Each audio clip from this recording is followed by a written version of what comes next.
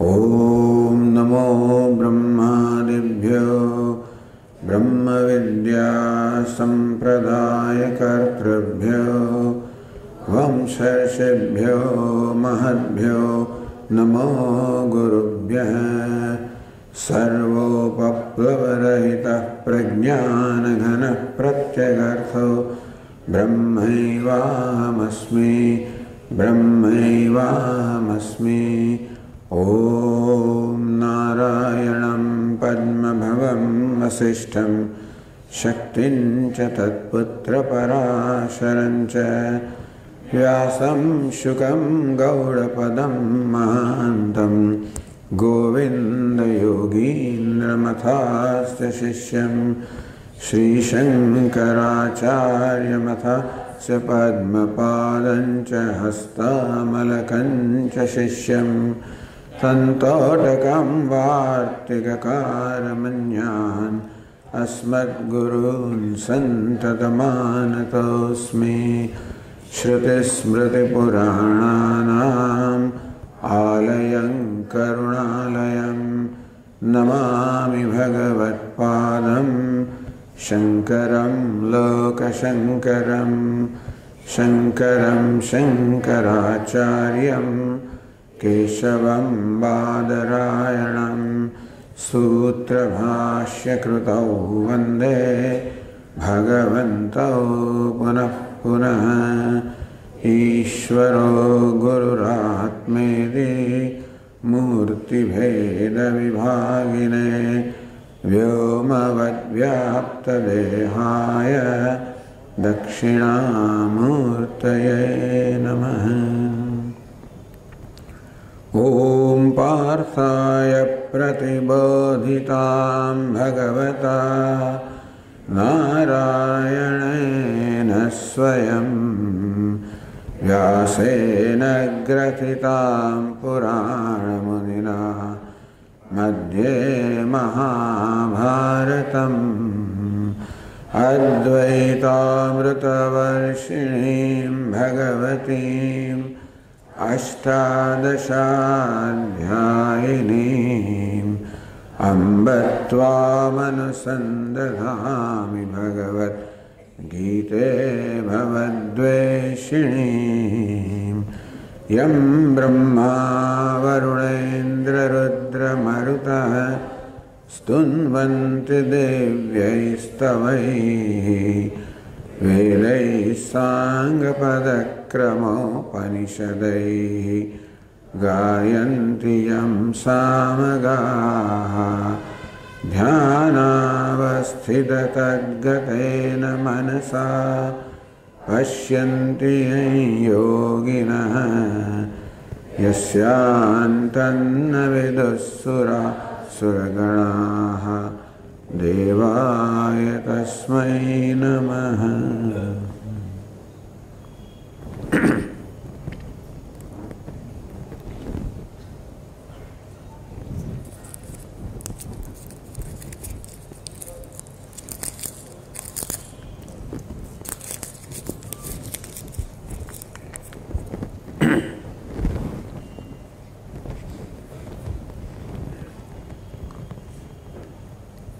આ સાત દિવસના પ્રવચનનો વિષય છે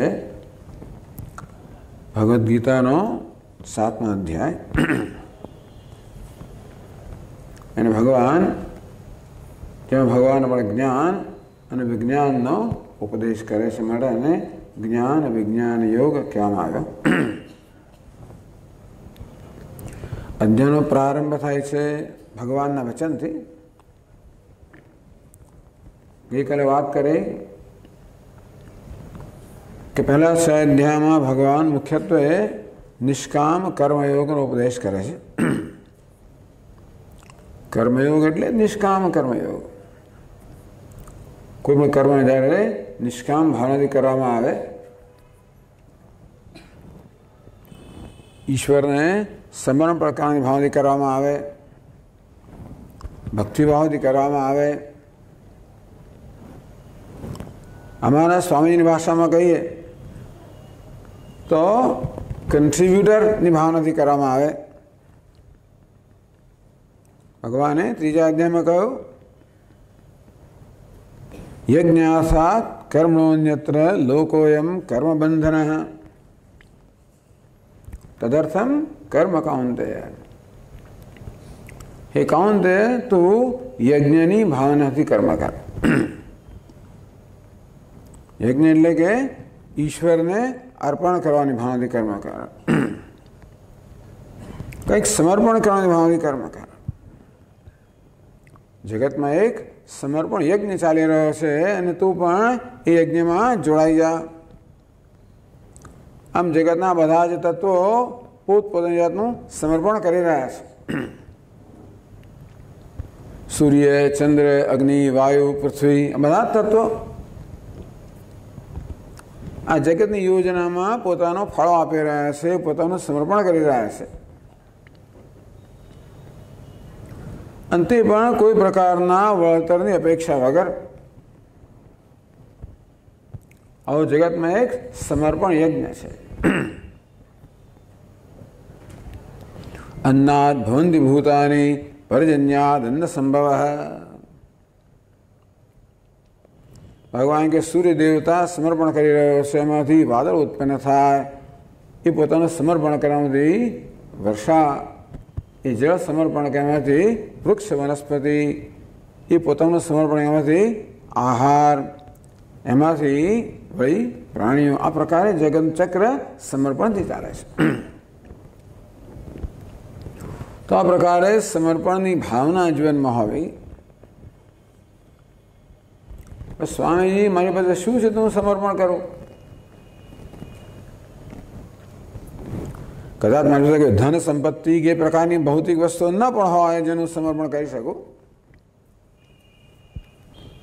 મારામાં સદભાવના છે. હું બીજાનું ભલું ઈચ્છી શકું. કદાચ મોટું કામ ના કરી શકું તો નાનું કામ કરું. ભગવાન રામચંદ્ર જ્યારે સેતુબંધનું નિર્માણ કરી રહ્યા હોય ત્યારે મોટા વાનરો રીછો મોટા મોટા ખડકો અને વૃક્ષો અને શિખરો લઈને આવે એવું મોટું સમર્પણ કરે. એ ખિસકોલી હોય, એ પોતાની રીતે સમર્પણ કરે. એ ખિસકોલી જળમાં જાય, શરીરને ભીજવે, રેતીમાં આવીને આળવટે ખિસકોલીના શરીર પર રેતીના કારણે જામી જાય એ જેને વળી પાછી આળવટે એ રીતે પોતાનું એ પ્રકારનું સમર્પણ કરે.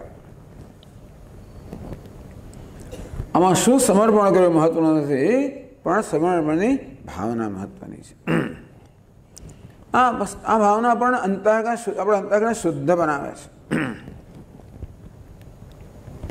ગઈકાલે વાત કરી આપણામાં રાગ, દ્વેષ વગેરે સ્થાન લઈ લીધું છે. જે આપણા મનમાં અશાંતિ જન્માવે છે, દુઃખ જન્માવે છે, શોક જન્માવે છે, આ જે શુદ્ધિ છે. સ્વાર્થ કહો, સંકુચિતતા કહો, બીજાનો લાભ લેવાની વૃત્તિ કહો. આમ સાથે માણસ આ પ્રકારની વૃત્તિથી કામ કરતો હોય છે. જે નવા નવા રાગ દ્વેષને જન્મ આપે છે. તો બિચારા માણસને ખબર નથી કે પોતાના રાગ અદ્વેષને સંતોષવાથી ઉલટા રાગ અદ્વેષ વધતા હોય છે અને એ રીતે અશાંતિ અને સંઘર્ષ વધતા હોય છે, ઘટતા નથી. અને તેથી રાગ દ્વેષને સંતોષવા એ જીવનમાં સુખનો માર્ગ નથી. સામાન્ય માણસ અવિવેકને કારણે રાગ દ્વેષને સંતોષવામાં પોતાના જીવનની સફળતા છે મારું ધાર્યું થયું, હું સફળ થયો. વેદાંત કે નહીં રાગ દ્વેષને સંતોષવામાં જીવનની સફળતા નથી. રાગ દ્વેષથી મુક્ત થવામાં જીવનની સફળતા છે. પણ કર્મ કરતો રાગ દ્વેષને સંતોષવા માટે નહીં. રાગ દ્વેષથી મુક્ત થવા માટે. તું સ્વાર્થ ભાવની પ્રેરણા કર્મ કરીશ બીજાનો લાભ લેવા માટે કર્મ કરીશ તો રાગ દ્વેષમાં વૃદ્ધિ થશે તારા દુઃખમાં વૃદ્ધિ થશે જ્યારે નિસ્વાર્થ ભાવથી કર્મ કરીશ સમર્પણની ભાવથી કર્મ કરીશ જે કે તને ભગવાન આપ્યું હોય બીજું કંઈ નહીં તારા હૃદયમાં જે કે પ્રેમ હોય સદભાવનાઓ હોય દયા હોય કરુણા હોય ક્ષમા હોય આ સદગુણો તું આપી શકે દરેક દરેક નાના મોટા વ્યવહારની અંદર કર્મ કરવા માટે યોગ માટે આપણે ક્યાંય દૂર જવું પડે નથી જે નાનો મોટો વ્યવહાર સવારી સાંજ કરતા હોય એ દરેક દરેક વસ્તુ આપણો યોગ બની શકે તો દરેક વ્યવહારમાં આ પ્રકારની સદભાવના હોય કે કેવી રીતે હું ઉપયોગી બનું કેવી રીતે મદદરૂપ થાવ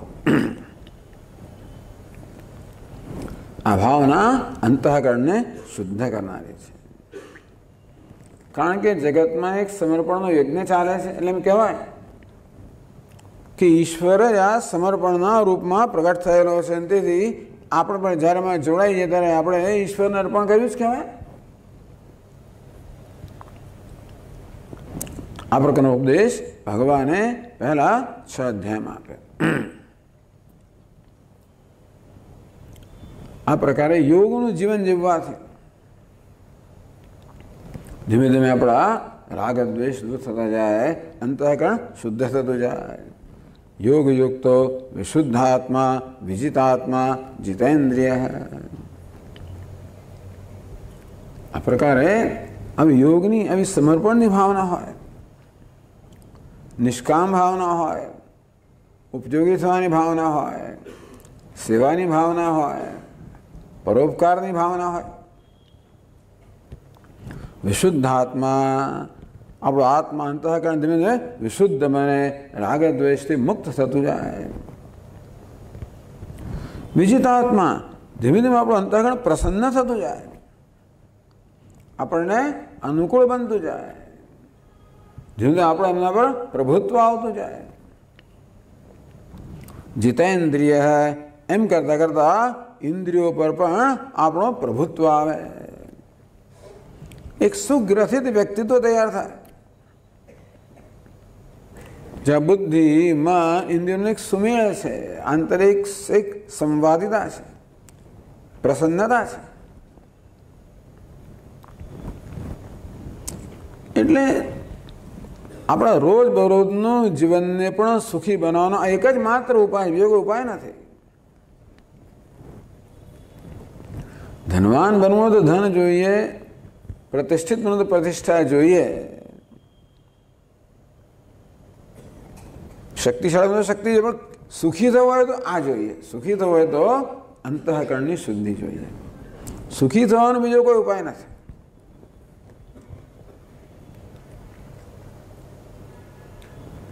આ પ્રકારે યજ્ઞની ભાવનાથી સમર્પણની ભાવનાથી પરોપકારની ભાવનાથી સેવાની ભાવનાથી ઉપયોગી થવાની ભાવનાથી ધીમે ધીમે આંતરિક અશાંતિ દૂર થાય પ્રસન્નતા જે આપણો સ્વભાવ છે એ ધીમે ધીમે પ્રગટ થતો જાય ત્યારે ભગવાનની ભક્તિ કરવાની પ્રેરણા જન્મે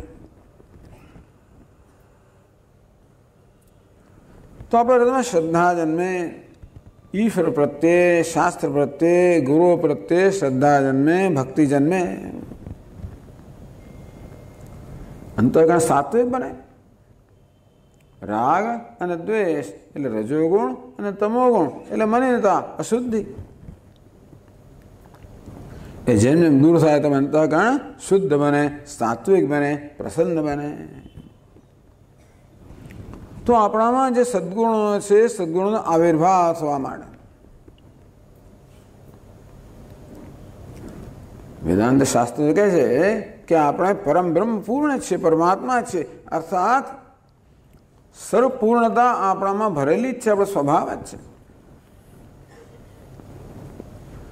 તે પૂર્ણતા કે આનંદ કોઈ પ્રાપ્ત કરવાની વસ્તુ નથી, એનો આવિર્ભાવ કરવાનો છે.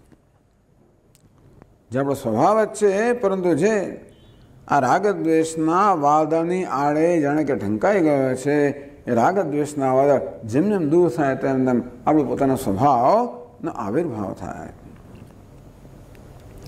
આપણા રહેલા શ્રેષ્ઠ ગુણોનો આવિર્ભાવ થાય. શ્રદ્ધા, ભક્તિનો પણ આવિર્ભાવ થાય. એટલે હવે ભક્તિ યોગ અભિ સર્વેશામ મદગતેના અંતરાત્મના શ્રદ્ધાવાન ભજતે યો મામ સમે યુક્ત તમો મત યોગીઓ છે પણ છેવટે મદગતેના અંતરાત્મના જેનો અંતરાત્મા મારામાં સ્થિત થયો છે ભજતે યો મામ જે મારું ભજન કરે છે ભગવાન કે એ સર્વશ્રેષ્ઠ યોગી છે કર્મયોગી ભગવાન ભક્ત છે જ. અને છતાં પણ ભક્તિ યોગ એ જો યોગ નથી, છતાં પણ ઈશ્વરની પ્રધાનતા જીવનમાં આવે. આમ ઈશ્વર આપણે પ્રવેશ કરીને આપણે જેમાં વ્યાપી જાય, એ બીજો તબક્કો છે. એ તબક્કાને આપણે ભક્તિઓ કહીએ. એનો પ્રારંભ આ સાતમા અધ્યાયથી થાય છે. એનો અધ્યાયનો પ્રારંભ ભગવાનના વચનથી થાય છે. ભગવાન સામે ચાલીને જ અર્જુનને પ્રવચન આપે છે. એમને પૂછ્યા વગર. આમ તો શાસ્ત્રમાં આજ્ઞા કરવામાં આવી છે. ના પૃષ્ઠ કસ્યચિત બ્રુયાદ જ્યાં સુધી પૂછવામાં ના આવે, ત્યાં સુધી આ ધર્મનો, જ્ઞાનનો, તત્વનો ઉપદેશ ના કરવો જોઈએ. નથી અન્યાય એને પૃચ્છતા કોઈ પૂછે તો પણ આપણને એમ લાગે કે આ પૂછવા ખાતર પૂછે છે. આપણી કસોટી કરવા માટે પૂછે છે. એટલે કે ન્યાયથી નથી પૂછતો, જિજ્ઞાસા નથી પૂછતો, જાણવાની એનામાં ઈચ્છા નથી. બીજી કોઈ ઈચ્છાથી પૂછે, તો પણ જવાબ નહીં આપવો જોઈએ. જાનન નપી મેધાવી. આ મેધાવી છે, બુદ્ધિમાન મનુષ્ય, જાણે છે. છતાં પણ જળવલ્લોકમાં આચરે. જળ જાણે કે જાણતો જ નથી. એવું આચરણ કરવું, એવી એવી સલાહ આપવામાં આવી છે. એવી સૂચના આપવામાં આવી છે. અને એ રીતે ભગવદ્ ગીતાનો પ્રારંભ પણ અર્જુનના પ્રશ્નથી થયો. ત્યાંથી ભગવાન ઉપદેશનો પ્રારંભ કર્યો નથી. શિષ્યસ્તેહમ સાધિમામ ત્વામ પ્રપન્નમ. હે ભગવાન, આપનો શિષ્ય છું, આપને શરણાગત થયો છું, આપ મને ઉપદેશ કરો. યશ્રેયસ્યાત નિશ્ચિતમ બ્રુહિતન મેં જેનાથી હું નિશ્ચિત શ્રેયસ પ્રાપ્ત કરી શકું, નિશ્રેયસ પ્રાપ્ત કરી શકું, મોક્ષ પ્રાપ્ત કરી શકું, એ માટેનો ઉપદેશ કરાવો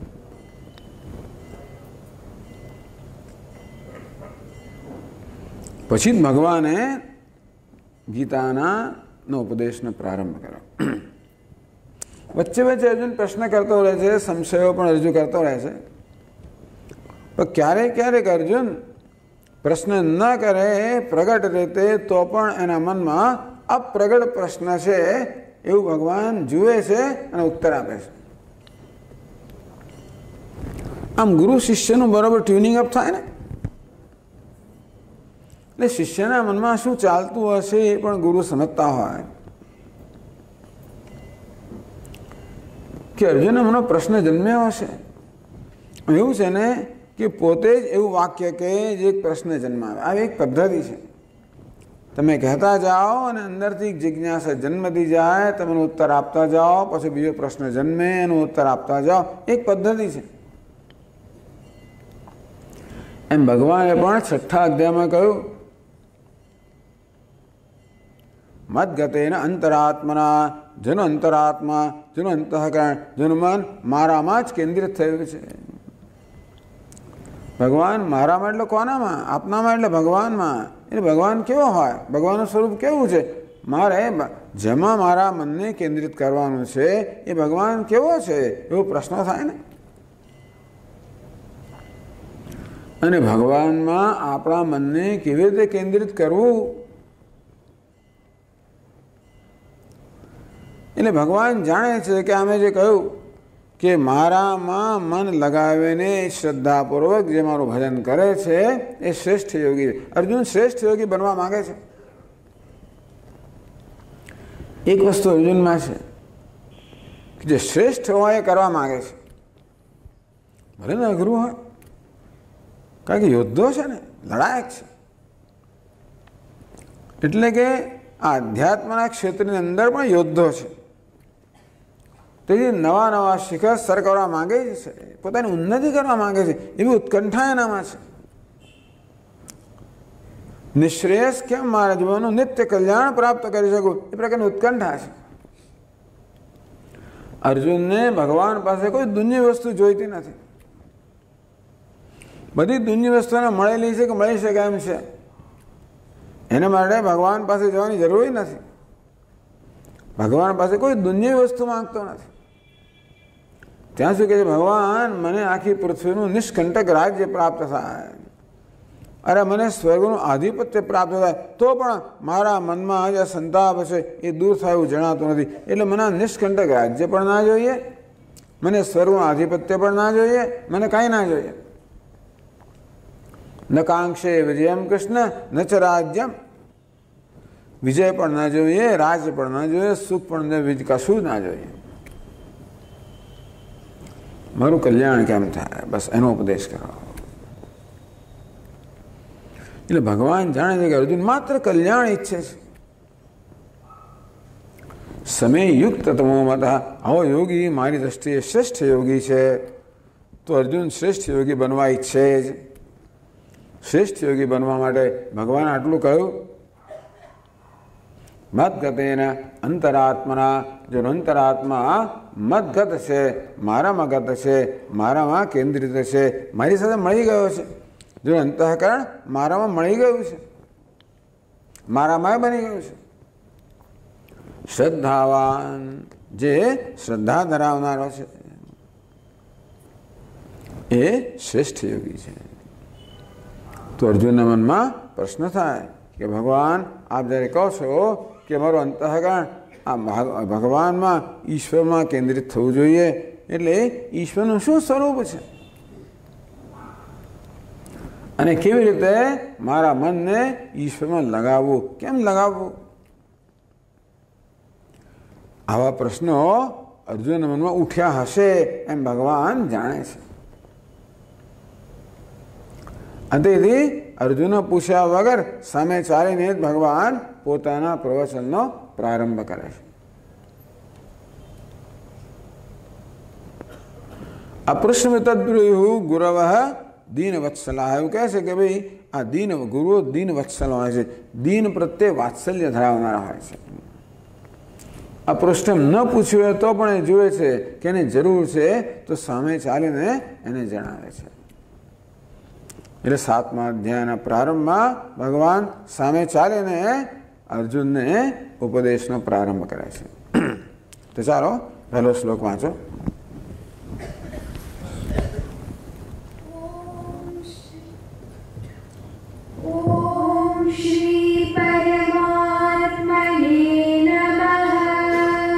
ઓમ શ્રી પરમાત્મને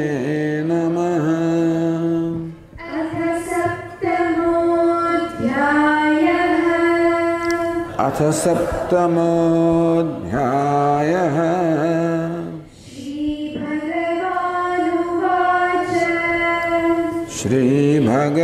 श्रीभगवानुवाच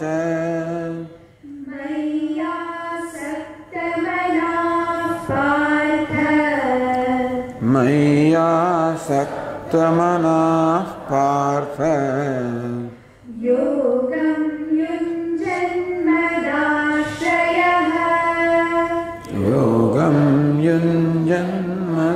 युञ्जन्मदाश्रयः असंशयं समग्रं माम् संशयं समग्रं माम् यथा ज्ञास्यसि तच्छृणु यथा ज्ञास्यसि तच्छृणु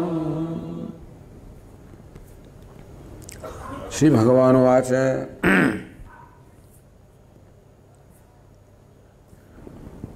મામ યથા જ્ઞાસ્યસે હે અર્જુન જે રીતે તું મને જાણશે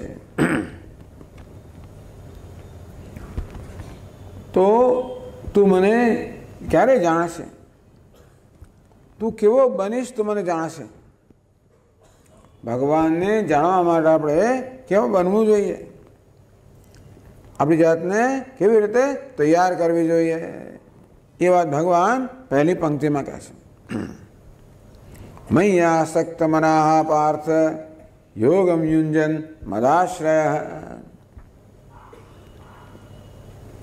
આવો થઈને ભગવાન ત્રણ વસ્તુ કહે છે મયી આસક્ત મનાહ એક યોગમ યુંજન બે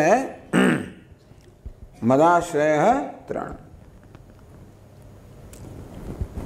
તો હે અર્જુન, તું આ ત્રણ વસ્તુઓને પ્રાપ્ત કર.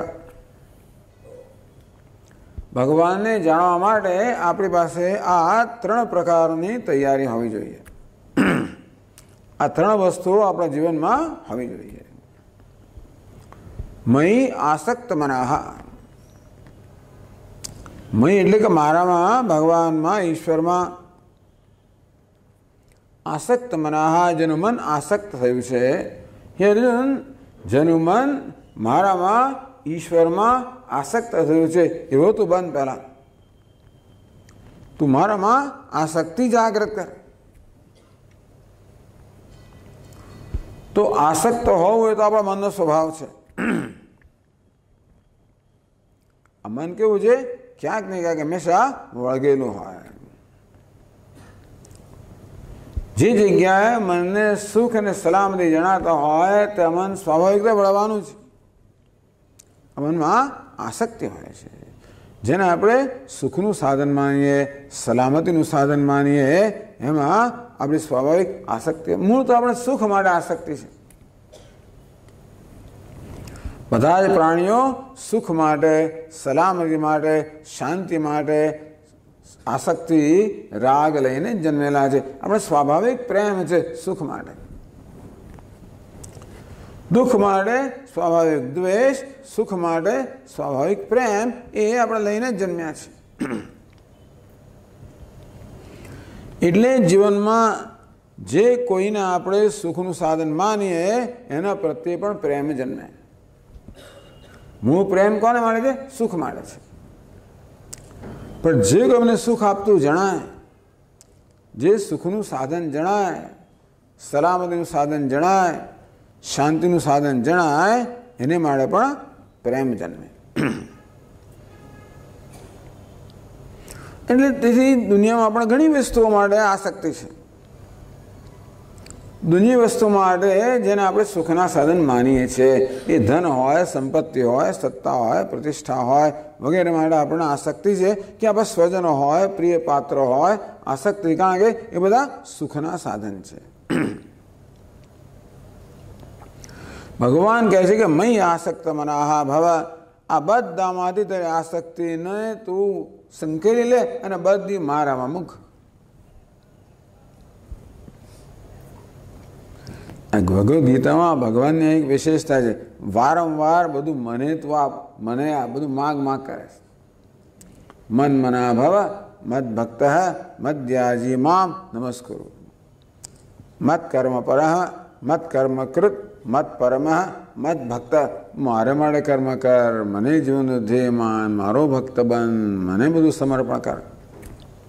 સર્વધર્માન પરિત્યજ્ય મામ એકમ શરણ વ્રજ બધાનો ત્યાગ કરીને એક મારું શરણ ગ્રહણ કર આ ભગવાન અહમ અહમ અહમ બહુ જ વાર વાપરે છે ગીતામાં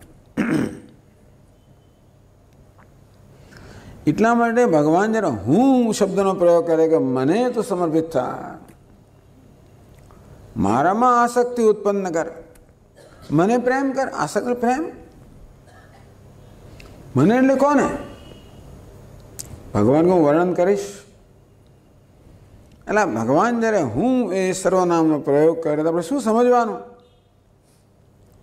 આ જ અધ્યાયમાં ને અન્યત્ર સર્વત્ર પણ ભગવાન વર્ણન કરતા કે હું કોણ છું? અહીંયા સાતમા દેવ ભગવાન કહે છે મત પરતરમ નાન્યત કિંચિત અસ્તિ ધનંજય. હે ધનંજય, હે અર્જુન આ જગતની અંદર મારાથી અન્ય કોઈ જ નથી. જગતને સર્જન કરનાર પણ હું છું અને જગતના રૂપમાં પણ હું છું. હું એક અદ્વિતીય પરમાત્મા છું. આ ભગવાન હું શબ્દનો પ્રયોગ કરે ત્યારે બહુ મહત્વની વસ્તુ છે. દરેક જણ પોતપોતે અર્થ કરતો હોય. કે હું એટલે ચતુર્ભુજ નારાયણ, કે હું એટલે દ્વિભુજ શ્રી કૃષ્ણ વગેરે. ખોટું નથી. પણ ભગવદ્ ગીતામાં એ પ્રકારનું વર્ણન નથી. ભગવાને પોતાનું વર્ણન હું મુરલી મનોહર છું, કે ગોવર્ધનધારી છું, કે શંકર ચક્રા પદ્મધારી એ પ્રકારે વર્ણન એ નથી એવું નહીં, પણ એવું વર્ણન નથી કર્યું. ભગવાન પોતાનું એ જ કરે છે જેમાં બધા બધા જ નો સમાવેશ થઈ જાય. દુનિયાનો કોઈ પણ માણસ ભગવાન સાથે કોઈ પણ સંપ્રદાયનો હોય છતાં ભગવાન સાથે સંબંધિત થઈ શકે. એવું ભગવાનનું યુનિવર્સલ એટલે સાર્વત્રિક રૂપ છે. ભગવાન અહીંયા કહે છે સાતમા અધ્યાયમાં, કે અર્જુન, આ જગતનું સર્જન કરનાર પણ હું છું અને જગતના રૂપમાં પણ હું છું. આપણે જોઈશું. હું જગતના પ્રગટ થયો છું. માટે મહાપુરુષોનું જ્ઞાન કેવું છે? વાસુદેવ સર્વમ. આ સર્વ વાસુદેવ છે. સર્જન કરનાર પણ હું અને સર્જનના રૂપમાં પણ હું. એ હુંની વાત કરે છે ભગવાન. ભલે આપણે પ્રારંભ કરી નાના લાલાથી છે, વાંધો નથી. આપણા આસક્તિનો પ્રારંભ કરીએ આપણા ઠાકોરજીથી કે જે આપણા ઈષ્ટ દેવતા હોય. પણ ધીમે ધીમે ધીમે આપણો ઠાકોરજીનો ખ્યાલ પણ ધીમે ધીમે વધારે વધારે વ્યાપક બને. અને આપણો ઈશ્વર એવો હોય છેવટે જે બધાનો સમાવેશ કરે, જે કશાનો વિરોધીના બધાનો સમાવેશ કરે. ભગવદ્ ગીતામાં ભગવાન એવા ઈશ્વરનું નિરૂપણ કરે છે, જે બધાનો સમાવેશ કરે. સમોહમ સર્વભૂતેજુ નમે દ્વેષ્યોસ્તી પ્રિય હું તો સર્વ માટે સમાન છું. ભગવાન કે મને ક્યાંય પક્ષપાત નથી, ક્યાંય દ્વેષ નથી. ભગવાન તમારા દુષ્ટ લોકો પ્રત્યે દ્વેષ નથી ક્યાંય દ્વેષ નહીં ધરાવતો. હું સર્વનો આત્મા છું. સર્વને સત્તા સ્વતિ પ્રદાન કરનાર છું. એટલે બધાને ધારણ કરનાર છું. બધાને બધા પર અનુગ્રહ કરનાર છું. તો ભગવાન એવું કેમ દેખાય છે? કે કેટલાક લોકોને આપણો અનુગ્રહ પ્રાપ્ત થયો હોય એમ જણાય છે અને બીજા કેટલાને પ્રાપ્ત થતો જણાતો નથી. આ બધા પર અનુગ્રહ કરતા હો તો આવો ભેદભાવ કેમ જણાય છે? કે કેટલાક આપણા પ્રિય છે અને કેટલાક આપણા પ્રિય નથી. એવું કેમ ભેદભાવ જણાય છે? ભગવાન કે એમાં મારું, હું એના માટે કારણભૂત નથી ભાઈ. હું તો સૂર્યની જેમ પ્રકાશ છું. મારો પ્રકાશ બધાને ઉપલબ્ધ છે. પણ જે પોતાના ઘરના બહારની બારીઓ ખોલે, એમાં સૂર્યનો પ્રકાશ પડે, જે ન ખોલે પ્રકાશ ન પડે. અને તેથી સૂર્યના પ્રકાશ છતાંય પણ કોઈક અંધારાથી પીડાતો હોય. એમાં સૂર્યનો વાંક નથી. ભગવાન સૂર્ય કે હું શું કરું? મારો પ્રકાશ બધાને ઉપલબ્ધ છે. પાપી હોય કે પુણ્યશાળી, જે કોઈ હોય એને સમાન. તેમ ભગવાન અનુગ્રહ બધાને ઉપલબ્ધ છે. પણ જે પોતાના હૃદયના દ્વાર ખોલે અને ભગવાનના અનુગ્રહ અનુભવ થાય, એવા ભગવાન છે. સર્વનો આત્મા છે. મૈયા આસક્ત મનાફ પાર્થ. એવા મારામાં તું આસક્ત મનવાળો થાય. જે સર્વનો આત્મા છે. સમગ્ર જગતનું સર્જન કરનાર છું. પાલન કરનાર છું, લય કરનાર છું, નિયામક છું, સર્વજ્ઞ છું, સર્વશક્તિમાન છું અને સર્વ કૃપાળુ છું, સર્વનો શુભેચ્છક છું. આ પ્રકારે ભગવદ્ ગીતામાં ભગવાન પોતાનું વર્ણન કરે છે. એવા મારામાં જે સર્વનો શુભેચ્છક છું. સુહૃદમ સર્વભૂતાના પ્રાણી માત્ર સુહૃદ છું, શુભેચ્છક છું. ટૂંકમાં માગ્યા વગર મદદ કરનાર છું. મહી આસક્ત મના હે. અર્જુન, તારી આસક્તિ આ દુનિયાના પદાર્થોમાંથી અને દુનિયાની વ્યક્તિઓ વગેરેમાંથી તું સંકેત લઈને એ સર્વ જે અંતર આત્મા છે એમાં એટલે આસક્તિનું માત્ર કેન્દ્ર જરા બદલવાની જરૂર છે, ભગવાન ક્યાં દૂર નથી. મને મારા પુત્રમાં આસક્તિ છે. પુત્રના કયા અંશમાં આસક્તિ? મને દેહમાં આસક્તિ હોય પુત્રમાં. તો જરા ખસેડીને એ અંતરાત્મામાં આસક્તિ લઈ જાય પુત્રમાં આસક્તિ છે, પત્નીમાં આસક્તિ છે, પતિમાં આસક્તિ છે, મિત્રમાં આસક્તિ છે. આસક્તિ ખોટી વસ્તુ નથી. આ ક્યાં છે એ પ્રશ્ન છે.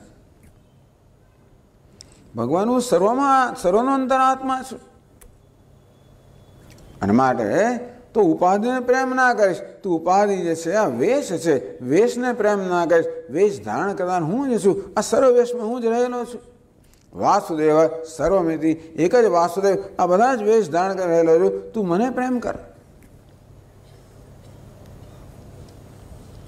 એ ટકાઉ પ્રેમ રહેશે. આ વેશ તો બદલાયા કરતો હોય. વેશને પ્રેમ કરીએ ને, એટલે વેશ બદલાય. એટલે પછી આપણો પ્રેમ ઓછો થવા માંડે પાછો. વેશ ધારણ કરનાર કેવો છે સદા એ તો કેવો છે નિરંતર સનાતન નિત્ય નિર્વિકાર મૈયા આસક્ત મના તું મારામાં આસક્તિ જાગૃત કર મને પ્રેમ કર મનું ભજન કર ભજન તો આપણે કરીએ છીએ પણ પુત્રનું, પત્નીનું, પતિનું, પરિવારનું, ધનનું, સંપત્તિનું ભજન કરીએ છીએ આપણે. ભગવાન મારું ભજન કર. જેને કારણે આ બધું છે. આ જગતમાં જે કે જે મારે કારણે છે. હું સર્વનો પ્રાણ છું, સર્વનો આત્મા છું.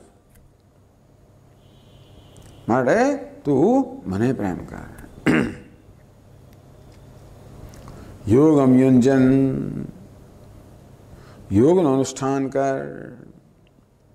આપણે યોગની વાત કરી, એટલે તું મારી નિષ્કામ ભાવે સેવા કર.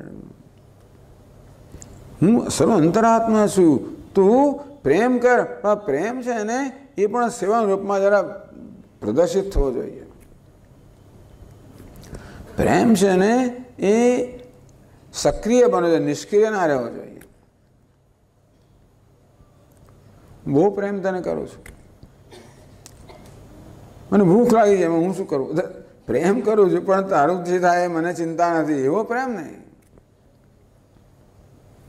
પ્રેમ હંમેશા સેવાના રૂપમાં પ્રગટ થાય. થવો જોઈએ. તો જ એ પ્રેમ છે. એવું ખરું તો ખરું ને? આપણે જેને ચાહતા હોઈએ, હંમેશા એને સુખી થવા, જોવા ઈચ્છે કે ના ઈચ્છે? એને સુખી કરવા ઈચ્છે કે નહીં? આ પ્રેમનું ગણિત એવું સુંદર છે કે જ્યાં પ્રેમ છે ત્યાં સુખી થવા માટે આપણે ફેરાને સુખી કરીએ તો આપો આપણને સુખ મળે. એટલે આપણા સુખ માટે જુદો પ્રયત્ન ના કરવો પડે. જેને માટે આપણને પ્રેમ છે એને સુખી જોઈએ એટલે આપણને આપોઆપ સુખ જન્મે. આ પ્રેમનું સુંદર ગણિત છે. જો પ્રેમ હોય એનો અર્થ એ થયો કે સુખી કરવાનો પ્રયત્ન હોય જ, તો જ અંદર પ્રેમ છે એમ કહેવાય. નહીતર ના કહેવાય. સુખી કોઈ ક્યારે થાય? સેવા કરી, ત્યારે ઉપકાર ઉપયોગી થઈએ, ત્યારે એની રાગ દ્વેષ સંતોષી, ત્યારે તો એને એ સુખી થાય. એટલે ભગવાનને સુખી કરવા, ભગવાનની સેવા કરવી, ભગવાનના રાગ દ્વેષ સંતોષવા, એમ કર્મયોગ. ભાગે સમર્પણની ભાવથી કર્મ કર. ભગવાન કે, જો આખી જગતમાં હું પ્રગટ થયેલું છું, હું સતત સમર્પણ કરું છું, તું પણ એમાં જોડાઈ જા. તો ભગવાન તો એક થઈ શકીએ ને આપણે. મૈયા આસક્ત મનાહા, જેનું મન મારામાં આસક્ત થયેલું છે, યોગમ યુંજન જે મારી સેવા કરે છે. આમ ભક્તિનો અર્થ સેવા કરવામાં આવ્યો એવો પણ કરવામાં આવ્યો છે. વલ્લભાચાર્યજી મહારાજ ભક્તિનો અર્થ એવો પ્રેમપૂર્વકની સેવા એવો કરે છે. એ કે ભજ ધાતુમાંથી ભક્તિ શબ્દ બન્યો, ભજ સેવાયા ભજ એટલે સેવા કરવી. એ ભજન એક તી પ્રત્યે લગાડો, એટલે ભક્તિ શબ્દ બન્યો. તો એ સમજાવે કે આ તી પ્રત્યે લાગીને ભક્તિ શબ્દ બન્યો ને. એ તીનો શું અર્થ કરવાનો પ્રેમ ભજનની સેવા. પણ તે એટલે પ્રેમપૂર્વકની સેવા. એટલે એમણે સેવાનો માર્ગ બતાવો ભક્તોને. વલ્લભાચાર્ય મહારાજ બધાને સેવાનો માર્ગ બતાવો લાલાની સેવા કરો, ઠાકોરજીની સેવા કરો. ભક્તિ એટલે પ્રેમપૂર્વકની સેવા. મય્યાસક્ત મના પાર્થ યોગમ યુંજન. મદાશ્રય. આ પ્રકારે ભગવાનની સેવા કરીએ, જગતના રૂપમાં ભગવાનની સેવા કરીએ. જે રૂપમાં એની સેવા કરો, ઠાકોરજીના રૂપમાં એની સેવા કરો. હું તો કહું છું, પરિવારની સેવા કરો, પણ એમાં ભગવાનને, એમાં ઈશ્વરની કરે સેવા, એ પ્રકારના ભાવથી કરી તો એ ભગવાનની સેવા થઈ જાય. સેવા કરવાનો બહાર ક્યાંય જવાની જે છે એની સેવા કરો ને આસપાસ. પોતાના પરિવારથી શરૂ કરો. પણ એ આ વાસુદેવ છે, આ નારાયણ છે, એ પ્રકારની ભાવનાથી સેવા કરવાની. તમે સમાજ સેવા કરો, સમાજ સેવા કરો. પણ આ સમાજનો ઈશ્વર છે, ઈશ્વરની સેવા કરવાની આ રૂપમાં.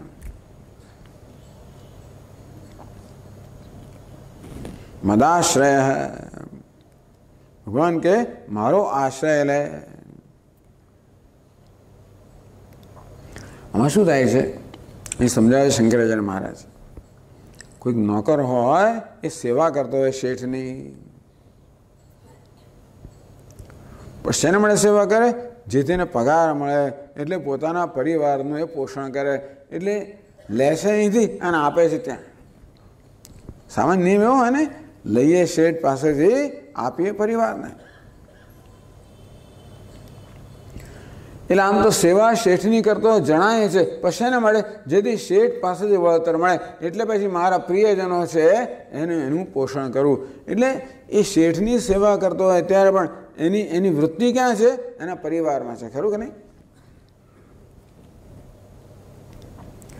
આપણે શ્રીનાથજી ભગવાનની કે તિરુપતિ ભગવાનની માનતા માની હોય કે ભગવાન, જો મારી દીકરીનો બરોબર થઈ જશે, ગોઠવાઈ જશે, તો હું તને આટલી ભેટ ધરાવીશ?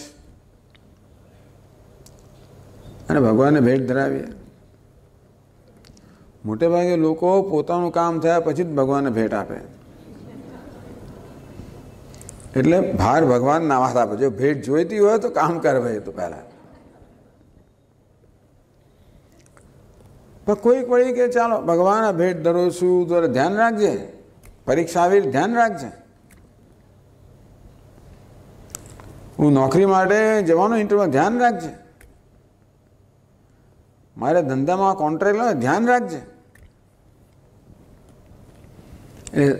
સેવા ભગવાનની થાય છે, પણ આપણું ધ્યાન ક્યાં છે? આપણી આપણી નોકરીમાં, આપણા પરિવારમાં, આપણા ધંધામાં. એટલે પ્રશ્ન એ થયો કે આપણે ખરેખર ભગવાનની સેવા કરીએ છીએ કે પરિવારની સેવા કરીએ છીએ? ભગવાનની સેવા કરવા દ્વારા કે પછી એને કશુંક અર્પણ કરવા દ્વારા આપણે કશું ઈચ્છતા હોઈએ તો આપણે માત્ર ભગવાનનો લાભ જ લઈએ છીએ ને? ભગવાનની ભલમનસાનો લાભ નથી લેતા આપણે? તમે કહો. આપણે એને સો રૂપિયા આપીએ ને એને એમ છે આપણે લાખ રૂપિયા માગીએ, પછી આપીએ આટલું ને માગીએ બહુ. ભગવાને લાખ રૂપિયા આપીએ ને પચીસ હજાર માગતો હતો વાંધો નહીં ભાઈ આપવું એને દસ હજારને માગું લાખ રૂપિયા. અને ભગવાન આપે, તો પછી એની ભલમનસાનો આપણે લાભ લીધો કે ના લીધો આપણો લાભ કોઈ લીધો કેવા આપણે થાય? જો લાભ લઈ જાય છે. મારી ભલમનસાનો લાભ લઈ જાય? અરે આપણે રોજ લાભ લઈએ ભગવાનની ભલમનસાનો તોય બિચારો કશું બોલતો નથી પણ ભગવાન કે જે તો ખરેખર તારે લાભ મેળવવો હોય. તું જ્યાં ભેટ ધરતો હોય, સેવા કરતો હોય, એ દ્વારા ખરેખર જો તારે લાભ મેળવવો હોય, મારા આશ્રય હે, તો મારી પાસે લે અને મને પાછું આપ. બીજાને ટૂંકમાં, બીજાને માટે મારી સેવા ના કર, મારે માટે જ મારી સેવા કર. અને એના પરમેશ્વર પ્રિયતા ભગવાન આ અર્પણ કરું છું આપની પ્રસન્નતા માટે. મારે કંઈ નથી જોઈતું.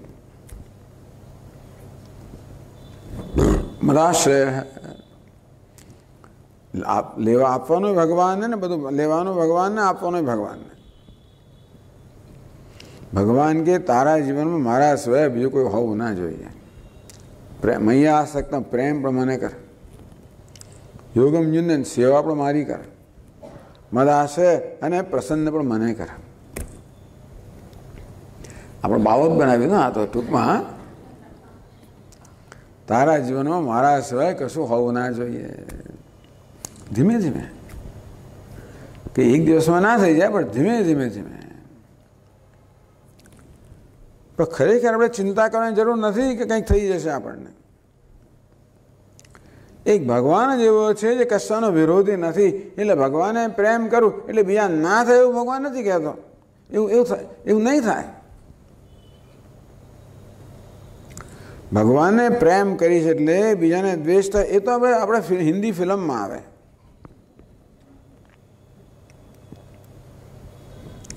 કે પેલું ત્રિકોણ હોય એટલે બે જણા એટલે એક આને પ્રેમ, એટલે પેલાનો દ્વેષ થાય, અને મારામારી થાય. એવું આ ભગવાનનું નથી. ભગવાનને પ્રેમ કરવાથી આપોઆપ જ બીજે પ્રેમ થઈ જશે. પ્રેમ તો કરવાનો જે કાંઈ જેમ જેમ તો નિસ્વાર્થ થતો તો એમ તું પ્રેમમય બનતો જે તારે કંઈ વિશેષ પ્રયત્ન નહીં કરવો પડે. તને આ બહુ જરાક અંગ્રેજીમાં કે વિન વિન સિચ્યુએશન બંને પક્ષે લાભનો અને છે તને આ ખોટનો ધંધો જ નથી. આમ ભગવાનની ભક્તિનો કે ભગવાનના ભજનનો જે આ ધંધો છે તમે કહેવા માંગતો હતો, એ કેવો છે? લાભનો જ ધંધો છે. તારો આધ્યાત્મિક જીવન તો ઉત્તમ બનશે પણ વ્યવહાર પણ ઉત્તમ બનવાનો જ છે. ક્યાં જવાનો છે? આપણે અધ્યાત્મ અને વ્યવહાર બે ભાગ કરતા નથી. કે ભગવાનને પ્રેમ કરો દુનિયા પ્રત્યે દ્વેષ થઈ જાય એવું નથી હોતું.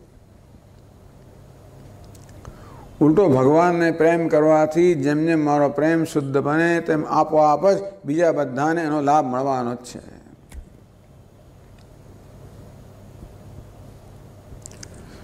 ભગવાને આ ત્રણ વસ્તુઓ કહી. આ પ્રકારે આપણે આપણી જાતને તૈયાર કરવાની.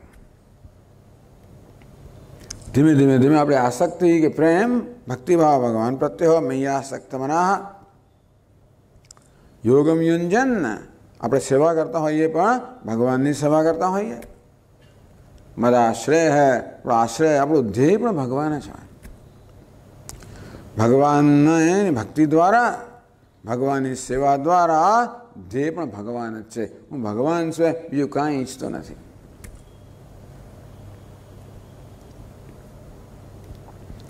એ તો અક્કલવાળો માણસ જ આવું ઈચ્છે। જે જાણે છે કે ભગવાન બધું આવી જાય. પેલી કથા તો મેં તમને કહી હશે. એક શેઠ બહુ ધનવાન હતા. ત્રણ દીકરા એના હતા, પણ દીકરા બહુ ધ્યાન નહીં આપેલું. શેઠ બિચારા બહુ માદા હતા, મૃત્યુ પથાય એમને એક નોકર એને બહુ સેવા કરતા હતા. શેઠે મૃત્યુ પહેલાં એક વિલ બનાવ્યું, વસિયતનામું. મેં લખ્યું કે મારી મિલકતમાંથી એક એક વસ્તુ મારા એક એક પુત્રને મળશે, બાકી જે રહેશે એ બધું મારા નોકરને મળશે.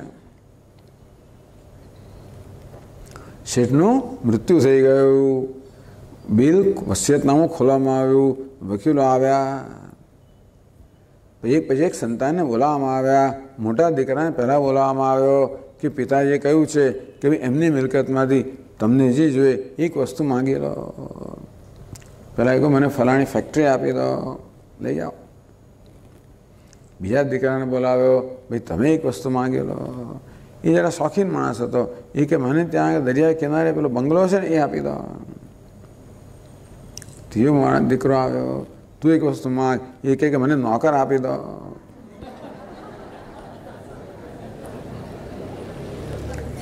આમ જેવી રીતે પેલા બધું આવી ગયું ને તેમ ભગવાન બધું આવી જાય, એ આપણે જાણતા નથી ને, એટલે આ ધંધો બહુ ખોટનો નથી આ ધંધો બહુ નફાનો છે.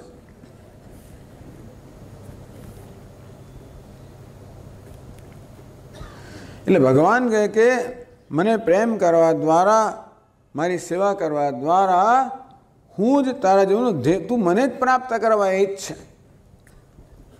મને તારે ધ્યેય રાખ. બી કોઈ તારું ધ્યેય હોવું ના જોઈએ. મત પરમહ મત કર્મ કૃત, મત પરમહ કર્મ પણ મારા માટે કર અને ધ્યેય પણ મને જ રાખ. મને કર્મ દ્વારા તું મને જ પ્રાપ્ત કરવાની ઈચ્છા રાખ. તું નાની વસ્તુ શું કામ ઈચ્છે જીવનમાં? જે અનંત વસ્તુ પ્રાપ્ત થયો, તે શા માટે તારે અંતવાળે એવી અંતવત તું મેં દેહા? અરે અંતવત ફલમ તેશામ એને કહેશે આગળ.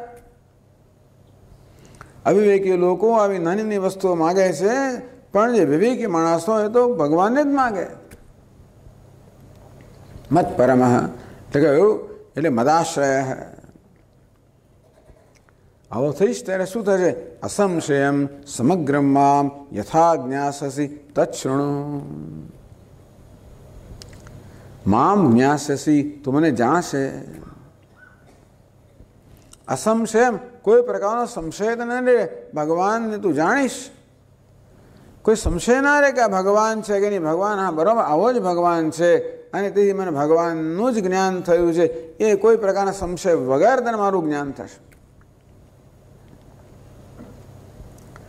કે આ ભગવાન કેવો છે? કોઈ કે ભગવાન ચતુર્ભુજ છે, કોઈ કે દ્વિભુજ છે, કોઈ કે ભાઈ છ મુખવાળો છે, કોઈ પાંચ મુખવાળો છે. એટલે પહેલાં જે આપણે આ ભગવાન છે ભગવાન ભગવાન બધું જ છે એટલા માટે. જો ભગવાનને સાચા અર્થમાં જાણ્યો હોય તો પછી કોઈ સંશય કે જે છે ભગવાન જ છે એવું કહે છે ભગવાન પોતે. ભગવાન આપણાથી ક્યાંક દૂર હોય અને બીજે કોઈ જગ્યાએ હોય તો જુદી વાત છે, પણ ખરેખર તો ભગવાન સમજાવશે કે જે કાંઈ છે ભગવાન છે. મારે તું જેના દર્શન કરે છે ભગવાનના દર્શન કરી રહ્યો છું. એટલે જ્ઞાનનું મહત્વ છે અહીંયા. જ્ઞાસ્યસી ભગવાનને પ્રાપ્ત કરવાનું, ભગવાનને જાણવાનું નથી, પ્રાપ્ત કરવાનું નથી. પ્રાપ્ત કોને કરવાનું હોય? જે પ્રાપ્ત હોય, જે ન હોય એને પ્રાપ્ત કરવાનું હોય. જે હોય એને જાણવાનું હોય. યથામામ જ્ઞાસ્યસી તું જોશે કે જે કંઈ છે, ભગવાન જ છે. આ સમજ, કોઈ સંશય નહીં રહે. આવો તો ભગવાન હોય સ્વામીજી. આવો ભિખારી ભગવાન હોતો હશે. એ આવું દુષ્ટ ભગવાન હોય, દુષ્ટ રૂપમાં ભગવાન હોય, કોઈ સંશય રહેશે જ નહીં.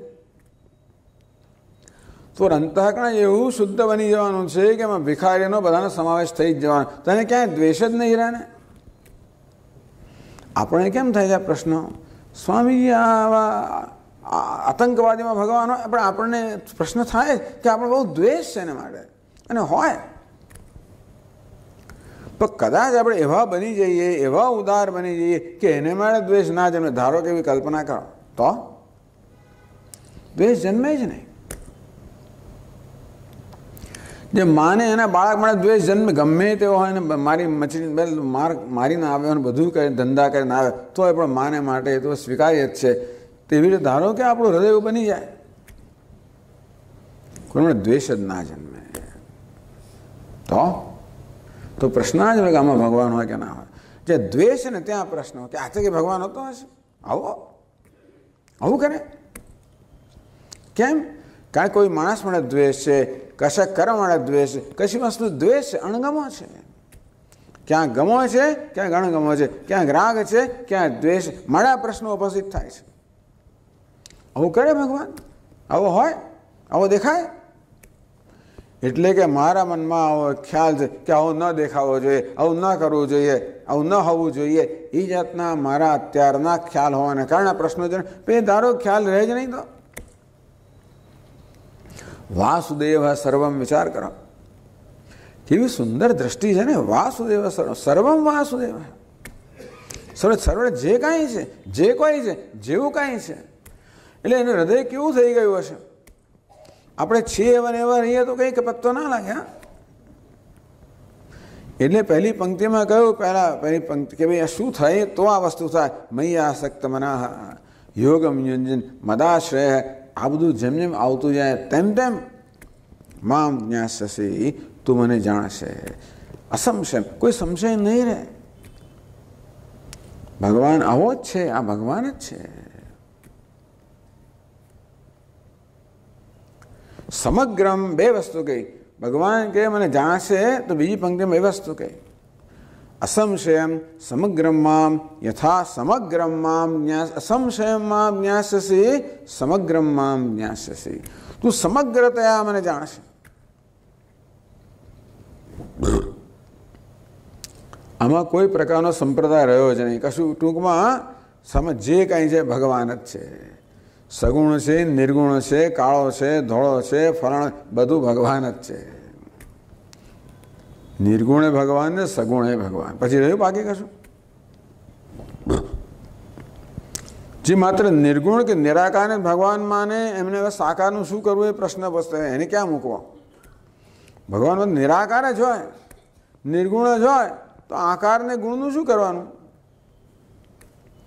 પેલા કે નહીં સાકાર જ ભગવાન હોય અને સગુણ, પેલા નિરાકારને શું કરવો પાછો? આપણે તો એવો કોઈ પક્ષપાત કરતા જ નથી. નિર્ગુણ, નિરાકારે ભગવાન છે અને સગુણ ને સાકારે ભગવાન જ છે. સમગ્ર. ટૂંકમાં જેમ પેલો સોની હોય એ બરોબર સોનાને ઓળખતો હોય. તેથી ગમે તે આકારમાં સોનું આવે, ગમે તે અલંકારનો આકાર હોય, તો પણ એ જાણે એ તમે સોને જોઈ શકે ના જોઈ શકે?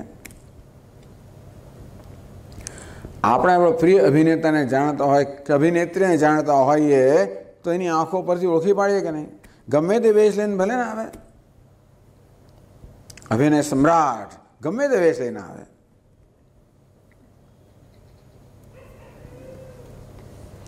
ક્યારેક નાયક પણ બને ક્યારેક ખલનાયક બને ગમે તે બને ને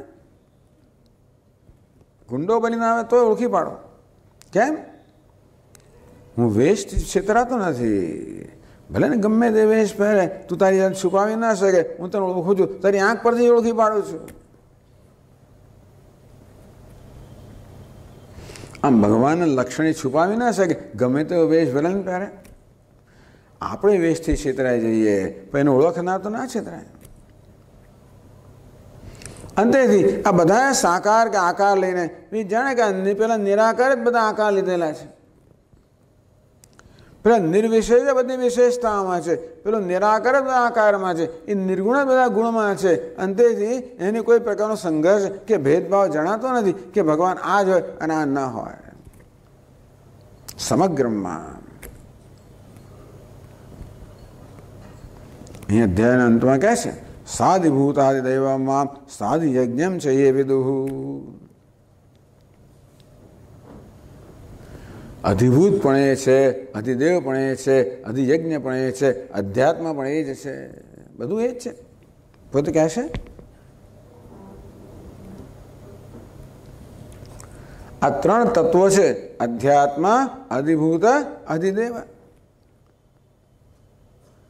અત્યારે હું આપ બોલી રહ્યો છું, મારી વાણી શું છે? અધ્યાત્મ છે, વ્યક્તિગત સ્તરે છે. આ શબ્દો શું છે? અધિભૂત છે, પંચમહાભૂતની ઉપજ છે.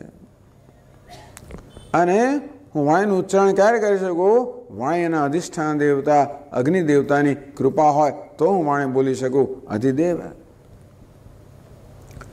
તમે અત્યારે આ શબ્દો સાંભળી રહ્યા છો. તમારી શ્રોત્રેન્દ્રિય શું છે? અધ્યાત્મ છે. જે શબ્દો તમે સાંભળી રહ્યા છો, અધિભૂત, પંચમહાભૂતની ઉપર છે. અને એ સાંભળવાનું ક્યારે શક્ય બને? જ્યારે શ્રોત્રેન્દ્રિયના અધિષ્ઠાન દેવતા દિગ્દેવતાનો અનુગ્રહ હોય ત્યારે. આમ દરેક દરેક વ્યવહારમાં આ ત્રણે ત્રણ સંકળાયેલા હોય છે. અધ્યાત્મ, અધિભૂત, અધિદૈવ. બસ આખું જગત એનું ત્રણમાં આખું જગત આવી જાય જીવ જગત ને ઈશ્વર જીવ અધ્યાત્મ જગત અધિભૂત ઈશ્વર અધિદેવ તો ભગવાન કહે છે કે અધ્યાત્મ પણ હું છું અધિભૂત પણ હું છું અધિદૈવ પણ હું છું બાબુ તમે પછી બાકી શું રહ્યું સમગ્રમાં ભગવાનની ખરી ઓળખાણ થાય છે ત્યારે આ બધ ભગવાનની બધી અભિવ્યક્તિમાં, અધ્યાત્મમાં, અધિભૂતમાં, અધિદૈવમાં સર્વત્ર તું મને જોઈ શકશે. જ્ઞાસ સંશય વગર યથા જ્ઞાસે જે રીતે મને જાણશે શૃણું ભગવાન કેવી રીતે જાણીશ? શૃણુ મારી પાસે સાંભળા, સાવધાન થઈને સાંભળા. ભગવાને પ્રસ્તાવના કરી, ઉપોદઘાત. પોતે શું કહેવાના છે? ખરેખર તો આ શ્લોક છે ને એ છ અધ્યાયનો ઉપોદઘાત છે. પહેલા છ અધ્યાયમાં ભગવાને કર્મયોગની વાત કરી અને કર્મયોગીની વાત કરી અને આત્માની વાત કરી. બીજા છ અધ્યાય ભગવાન ભગવાનની વાત કરશે, ભક્તની વાત કરશે, ભક્તિની વાત કરશે.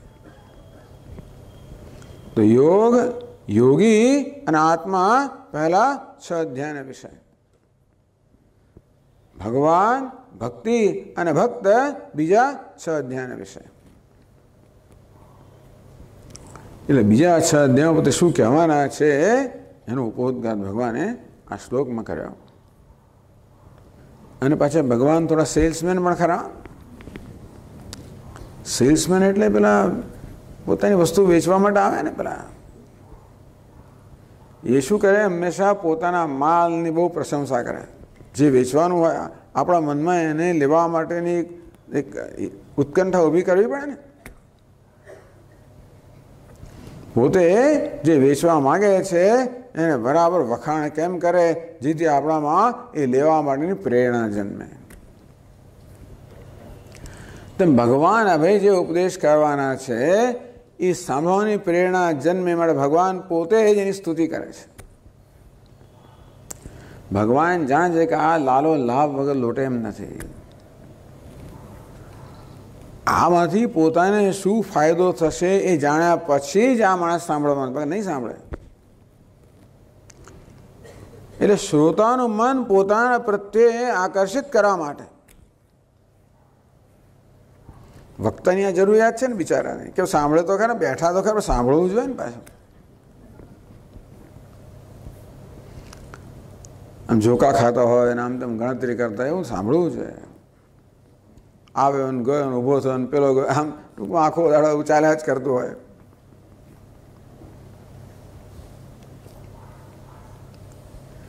વક્તા એમ ઈચ્છે કે શ્રોતા પોતાને સાંભળે તો ખરો, પણ જોડે જોડે રસપૂર્વક સાંભળે, ઉત્સાહથી સાંભળે, પ્રેમથી સાંભળે.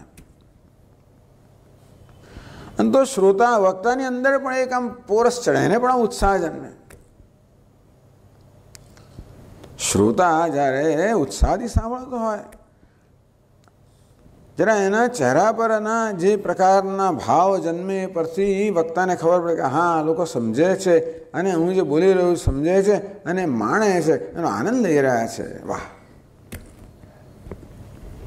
બીજું એને શું જોઈએ? વક્તાની પણ એક થોડી એવી જરૂરિયાત હોય ખરી હવે તેથી શ્રોતામાં પોતે એક રસ ઉત્પન્ન કરે. પોતે જે ઉપદેશ કરવાના છે એ જ્ઞાનની મૂલ્ય, કિંમત ઉત્પન્ન કરે. કે કેટલું મૂલ્યવાન વસ્તુ છે, તમે એને એને ગમે તેમ ના સમજો, આ તો બહુ મૂલ્યવાન વસ્તુ છે. કોઈ સામાન્ય વસ્તુ નથી.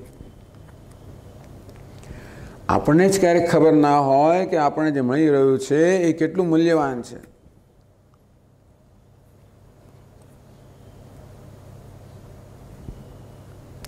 મને એમ કે હું દીવો વાપરી રહ્યો છું રોજ રોજ. પછી ખબર પડી કે આ શું છે? આ તો ચાંદીનો કેટલા? પચીસ હજાર રૂપિયાનું શું થયું. આટલું બાપરે હું તો છકત થઈ ગયો. આટલું મૂલ્યવાન વસ્તુ છે, મને ખબર જ નહીં. રોજ વાપરતો હતો. પછી તો ત્રીજો જ મૂકી દીધું. વાપરવાનું બંધ કરી જુદી વાત છે આને.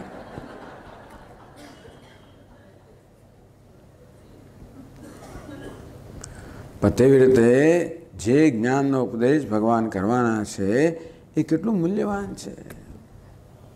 એનાથી શું મહાન લાભ છે?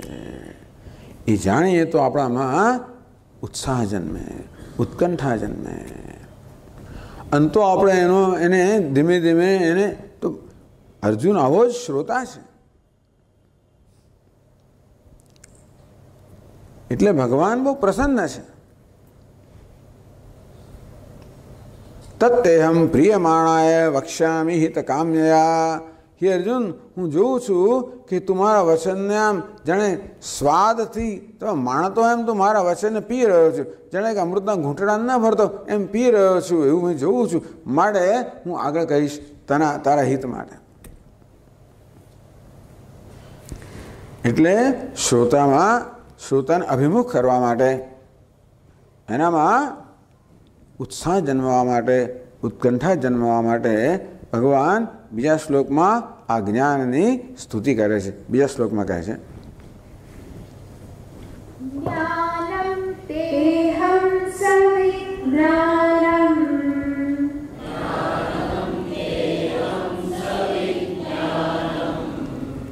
इदं वक्ष्याम्यशेषतः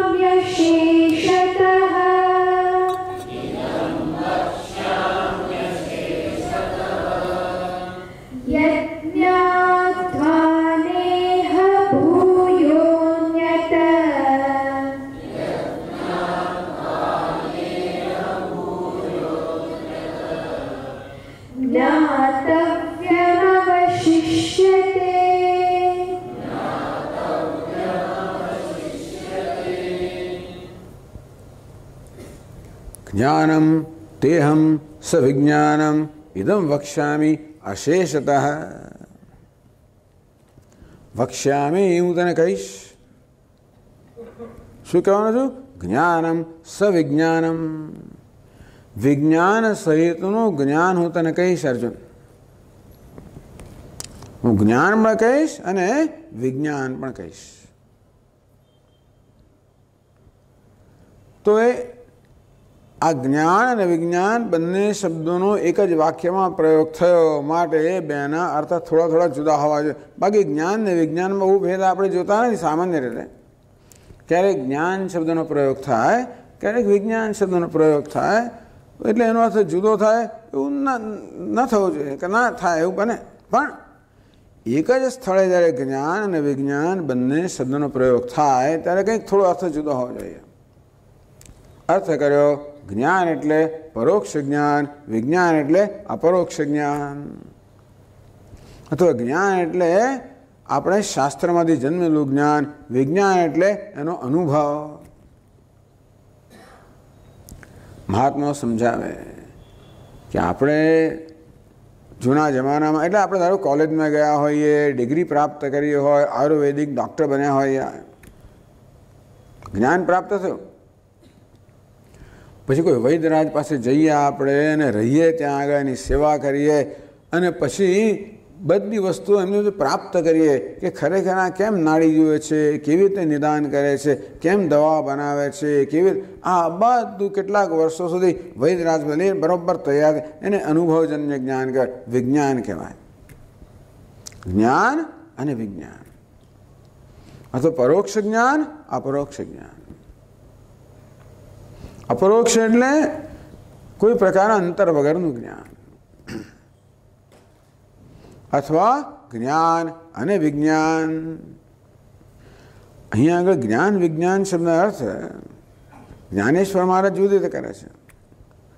જ્ઞાન એટલે જ્ઞાન સ્વરૂપ પરમાત્મા, ચૈતન્ય સ્વરૂપ પરમાત્મા. વિજ્ઞાન એટલે એ જ પરમાત્મા વિવિધ રૂપમાં આવતો હોય.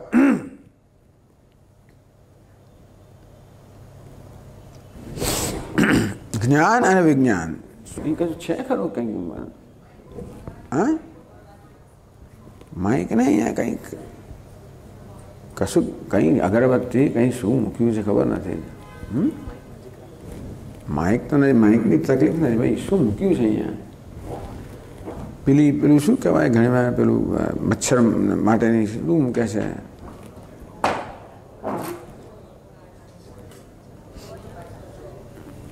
ખબર નથી, ચાલો.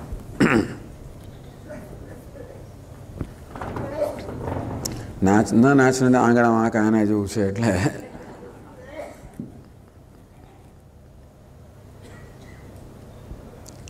જ્ઞાન અને વિજ્ઞાન.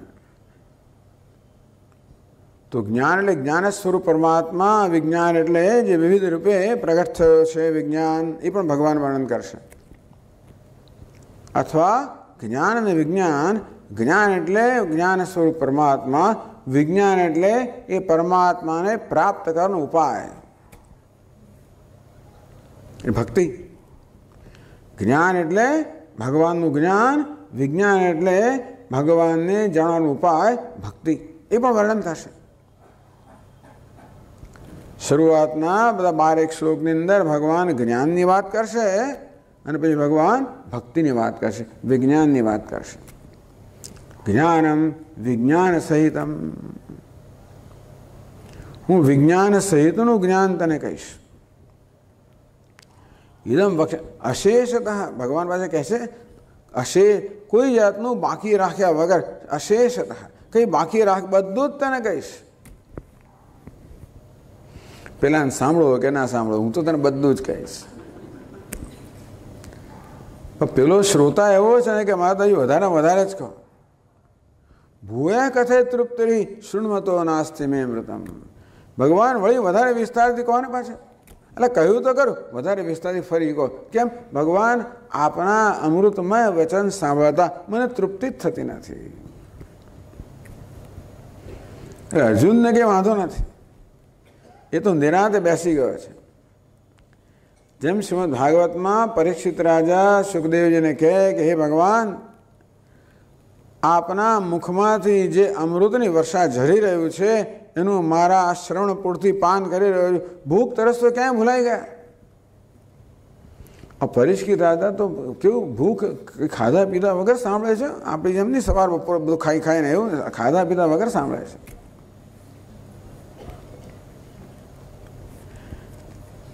એટલે પહેલાં ગોકર્ણ મહારાજે પહેલી વાર કથા કરી, ત્યારે પેલો વાંસની અંદર પેલો ધુંધુકારી અંદર બેઠો હતો પ્રેત. કથાને અંતે એ પ્રેત છે ને એની મુક્તિ થઈ ગઈ, એને લેવા વિમાન આવ્યું ઉપરથી. ત્યારે ગોકર્ણ મહારાજ કહે કે, ભગવાન, આવો પક્ષપાત કેમ? આટલા બધા શ્રોતાઓએ બધું મારી કથાનું શ્રવણ કરે. મેં એક જ જણ માટે વિમાન આવ્યું આ બધા માટે નહીં? કે ભાઈ જો શ્રવણની પણ ગુણવત્તા બહુ ફેર હતો. પહેલાં સાત દિવસ ભૂખ્યા તરસ્યા રહીને માત્ર એકાગ્ર ચિત્તથી કથાનું શ્રવણ કર્યું અને બાકીના અર્થમાં મનન કર્યું. એમ એમાં જ લાગેલો હતો. આ તો બધા આવે ખંખેરીને જતા રહે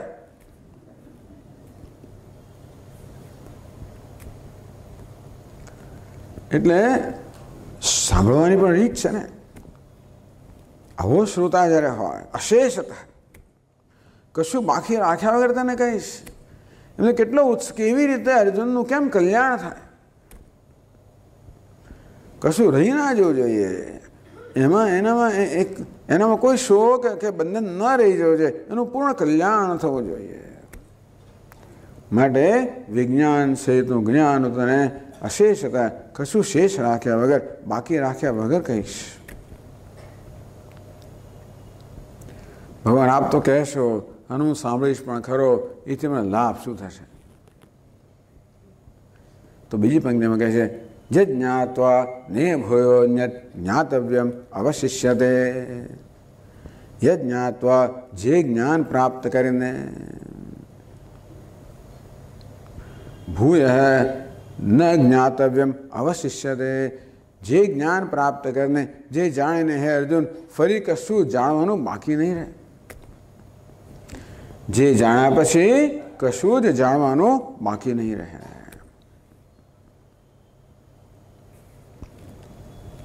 આના બધા અર્થ થઈ શકે. જે જાણ્યા પછી કશું જાણવાનું બાકી નહીં રહે. જે મેળવ્યા પછી કશું મેળવવાનું બાકી નહીં રહે. જે બન્યા પછી કશું બનવાનું બાકી નહીં રહે. ટૂંકમાં હે અર્જુન જે જ્ઞાન પ્રાપ્ત કરે તારી બધી જ કામનાઓનો પૂરો સંતોષ થઈ જશે. તને પૂર્ણ સંતોષ પ્રાપ્ત તારામાં કોઈ કામના નહીં રહે તારામાં કોઈ અધૂરપ નહીં રહે, કોઈ ઉણપ નહીં રહે, કશું બાકી નહીં રહે. જે જ્ઞાન પ્રાપ્ત કરે ને તને પૂર્ણ સંતોષ થશે કે બસ હવે મારે જે જાણવું હતું મેં જાણી લીધું. મારે જે મેળવવું હતું મેં મેળવી લીધું. મારે જે બનવું હતું એ બની લીધું. આજે આપણા જીવનનો સતત પ્રયત્ન કંઈક બનવાનો પ્રયત્ન કરીએ છીએ. મોટો મહાન, વધારે વધારે મોટો કેમ બનવું? કે જાણવાનો પ્રયત્ન વધારે વધારે કેમ જાણવું? જાણવાનો પ્રયત્ન કરીએ છીએ. વધારે કેમ મેળવવું? મેળવવાનો પ્રયત્ન કરીએ છીએ. વધારે વધારે કેમ મેળવવું? વધારે વધારે કેમ જાણવું? વધારે વધારે મોટો કેમ બનવું? બસ આને માટે પ્રયત્ન છે. આપણે એવી આશા રાખીએ છીએ કે આવું મેળવવાથી, આવું બનવાથી, આવું જાણવાથી મારું જીવન સંપૂર્ણ, હું કૃતકૃત્ય બની જઈશ. ભગવાન કે આ એવું જ્ઞાન છે, જે જ્ઞાન મેળવીને તું કૃતકૃત્ય બની જશે. કૃતમ કૃત્યમ, જે કરવાનું છે, એ બધું થઈ જાય, એવો પૂર્ણ સંતોષ તને પ્રાપ્ત થશે. તું મુક્ત થઈ જઈશ, તને મોક્ષ પ્રાપ્ત થશે. તારા જીવનનો પરમ પુરુષાર્થ સિદ્ધ થશે. અર્જુને ભગવાને વિનંતી કરી ને યશ શ્રેયસ્યાત નિશ્ચિતમ બ્રૂહી તન્મે એ ભગવાન જેથી મને શ્રેયસ પ્રાપ્ત થાય મારું કલ્યાણ થાય એ પ્રકાર નિશ્ચિત રીતે કહો કેવળ નિશ્ચિત શ્રેયસ પ્રાપ્ત થાય એ પ્રકારે મને ઉપદેશ એનો ઉપદેશ કરો બસ અર્જુન તારો જે તારું જે ધ્યેય છે એ ધ્યેય તારું પૂર્ણ થશે જે જ્ઞાન પ્રાપ્ત કરીને અર્ધ ભગવાન જ્ઞાનની પ્રસંગ કે આ જ્ઞાનથી જીવનનું ધ્યેય તને પ્રાપ્ત થશે. તું જીવનને ધ્યેયને પ્રાપ્ત કરીશ. તું જીવન પૂર્ણ સફળતા પ્રાપ્ત કરીશ. આ પ્રકારની ભૂમિકા ભગવાન બાંધે છે. હજી એક શ્લોક આગળ કહેશે અને પછી પોતાના જ્ઞાનનો ઉપદેશ શરૂ કરશે. આપણે આવતીકાલથી પ્રવચન ચાલુ રાખશું. ઓમ પૂર્ણમદ પૂર્ણમિદમ પૂર્ણાત પૂર્ણમુદચ્યતે પૂર્ણસ્ય પૂર્ણમાદાય પૂર્ણમેવાવશિષ્યતે ઓમ શાંતિ શાંતિ શાંતિ હરિ ઓમ શ્રી ગુરુભ્યો નમઃ હરિ ઓમ